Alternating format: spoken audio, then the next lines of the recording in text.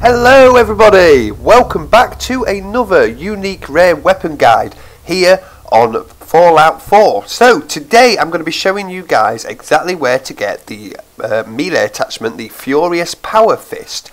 Um, so as always, first thing we're going to do is show you where to get it. Uh, you want to come to uh, Boston really, in uh, Swans Pond it's called. It's very close to uh, all the other places in Boston, the uh, big tower and things like that. But Swans Pond is this massive pond over here. Now this thing here with a swan on it, uh, I just walk up to it and I'm pretty sure that is how you get him to spawn. As soon as you go close to that, get out. Obviously take some RadAway or something like that as well because it will give you a lot of rads being in there. But yeah, I'm just gone through there and it spawned this boss called Swan. Now he's a giant guy with a huge melee attack so really make sure you uh, stay back and just keep shooting away at him and uh, try and get his health down as low as possible.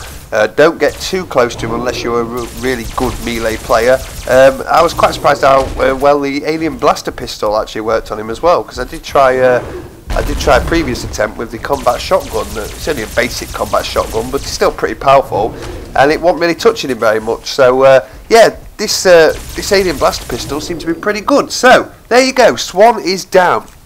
And that is all you have to do, really. Like I said, spawn him, kill him, and there is the Furious Power Fist. You see the star on it? That means it's a unique rare weapon. So we're going to go ahead and pick that one up right now, just uh, looting the rest of his body. But uh, yeah, for all you melee players, this is a really good uh, attachment because it does increase damage after each consecutive hit on the same target.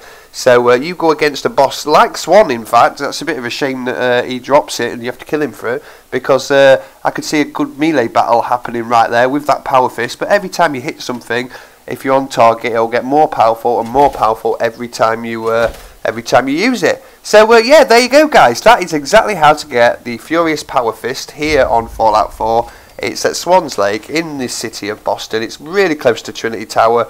Uh, in fact, you can probably see it very easily from the top of Trinity Tower. But uh, yeah, there you go anyway. Thank you for watching everyone, and I will see you guys in the next one.